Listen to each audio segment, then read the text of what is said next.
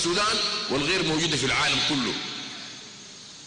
لولا أنه كان هو جزء من المؤامرة فصل جنوب السودان الليلة كان كل أبناء جنوب السودان دول قيادات جنوب السودان مش إن إحنا نكون في المحاكم الجنائية كانوا حيكون قيادات الجنوب. لأنه اللي حصل في جنوب السودان من قتل على على الهوية فقط ما حصل في أي حتة في الدنيا ولا شافات أي في الدنيا ولا حتى حصل في رواندا ذاتها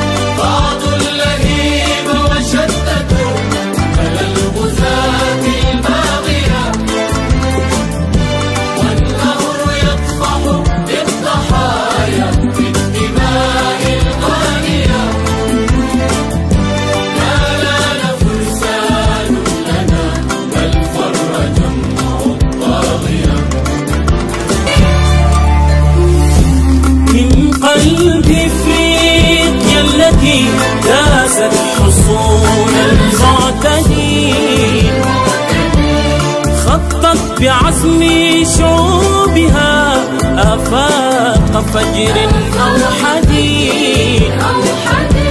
من قلب إفريقيا التي داست حصون المعتدين.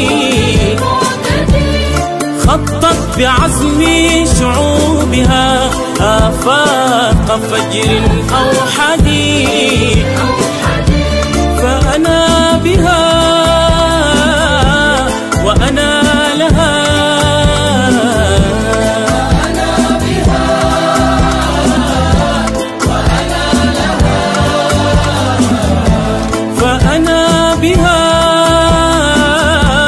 وأنا لها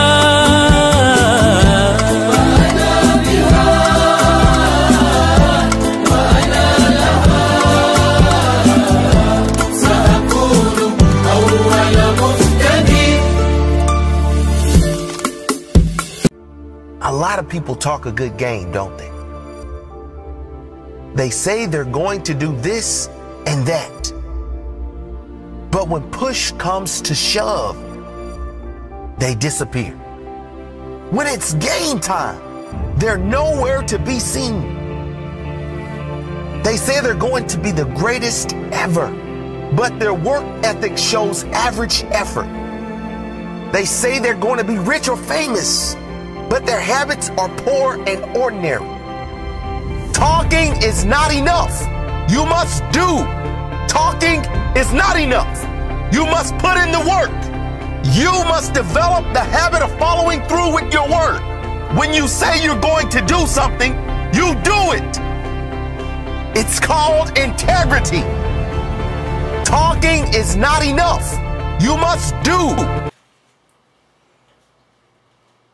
Naam. Talking is not enough. We must do. إذا نحن فعلا محبين لهذا الوطن ونرغب في أن يسترد المواطن السوداني عزته وكرامته لا بد لنا أن نعمل أكثر من أن نتحدث. كما لا بد لنا أن نتوقف ولو لحين عن النشاطات السياسية الفردية والانخراط في العمل الجماعي. وذلك حتى نتمكن من كنس هؤلاء الكيزان أهل الرذيلة والفساد والزج بهم في مزبلة التاريخ. عليه أقترح أن نقوم بتكوين حركة شبابية جديدة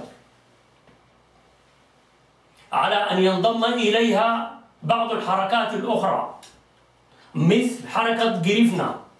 وحركة كفاية وغيرها في الداخل والخارج. كما يفضل أيضا إشراك أخواننا المناضلين في حزبي المؤتمر السوداني والحزب الشيوعي السوداني. واقترح أن يرأس هذه الحركة مولانا القاضي سيف الدولة حمد الله. على أن يكون لديه مساعدين اثنين. الأول مثلا الدكتور محمد الزين ويكون رئيسا للمجموعة السياسية الشبابية التالي أسمائهم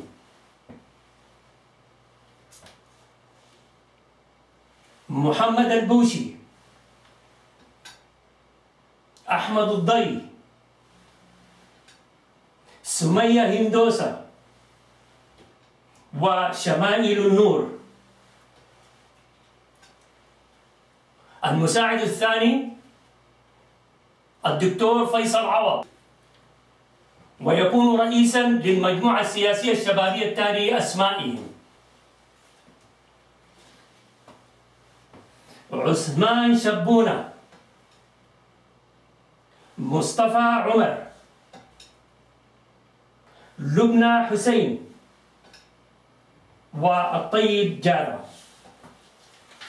مجموعة الدكتور الزين تكون مسؤولة مثلا عن الشؤون القانونية والسياسية وبعض المسؤوليات الأخرى التي ترى إنها مناسبة لهم.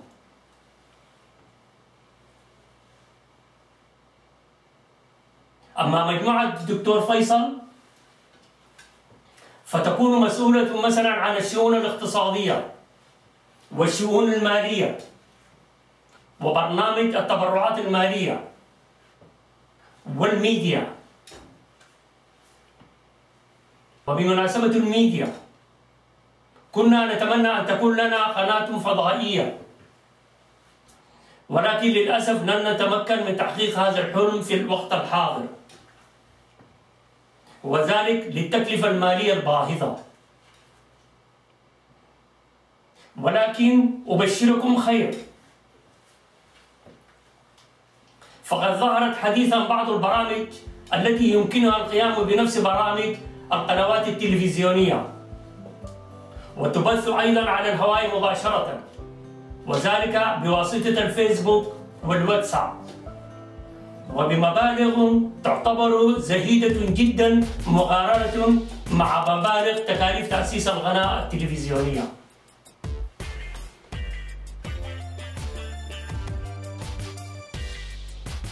سوف أقوم بالتنسيق لاحقا مع المهندسين المختصين في هذا المجال والذين سوف يتم اختيارهم من قبل مجموعة الدكتور فيصل.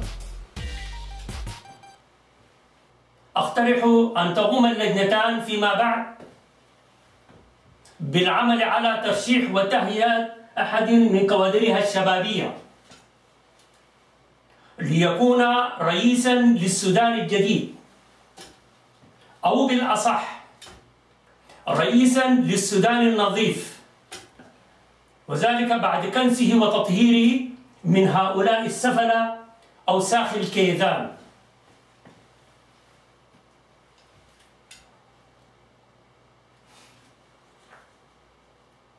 حتى لا نمر بنفس تجربة سبتمبر التي فقدنا فيها المئات من خيرة شبابنا والتي كان يفترض أن يخرج الشارع وقتها. للإطاحة بهؤلاء الكيزان السفلة ليس فقط من أجل الوطن فحسب بل من أجل أخذ الثار لأرواح هؤلاء الشهداء. ولكن للأسف الشديد لم يحرك الشعب في الداخل ساكنا. كما لم نحرك نحن أيضا في الخارج ساكنا. والسبب السبب هو لأننا لم نكن متحدين. وللأسف أيضا لن نقم بعد ذلك بتقديم الدعم المعنوي والمالي لمساعدة بعض أهالي هؤلاء الشهداء الذين يمرون حتى الآن بظروف مالية صعب جدا. لكل واحد من هؤلاء الكتاب قاعدة جماهيرية هائلة. تصوروا لو ضموا صفوفهم. كيف سيكون مدى قوة وحجم وصلابة الفريق الذي سيقودنا لتحقيق النصر؟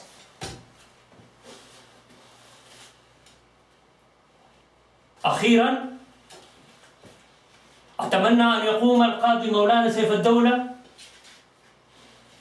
بإصدار تعليماته فورا لتكوين هذه الحركة الشبابية الجديدة.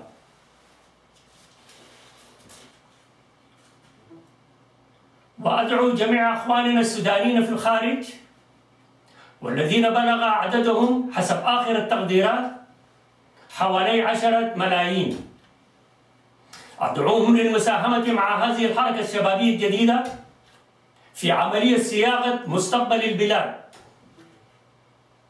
وأهم شيء طبعا هو تنظيم عمليات جمع التبرعات المالية وتقديمها لهذه الحركة.